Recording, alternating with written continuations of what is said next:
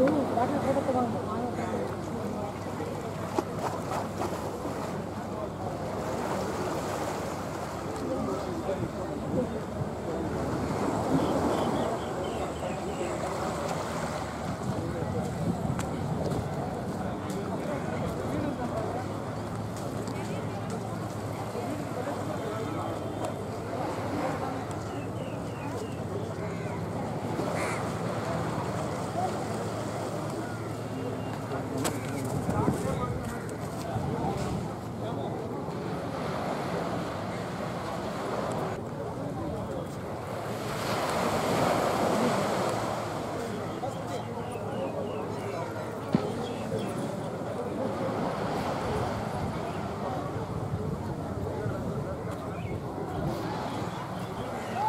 ಬನ್ರಿ.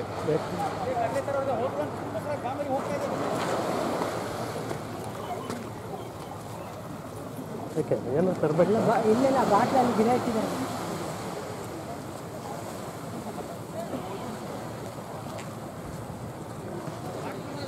ರಾಜೀವ್ ಗಾಂಧಿ ವಾಟರ್ ಸ್ಪೋರ್ಟ್ಸಲ್ಲಿದ್ದೇವೆ ಆ್ಯಕ್ಚುಲಿ ಇಲ್ಲಿಂದ ನಾರ್ತ್ ಬೇ ಐಲ್ಯಾಂಡ್ಗೆ ಮತ್ತು ರೋಸ್ ಐಲ್ಯಾಂಡ್ಗೆ ಹೋಗುವಂಥ ಒಂದು ದಾರಿ ಇದು.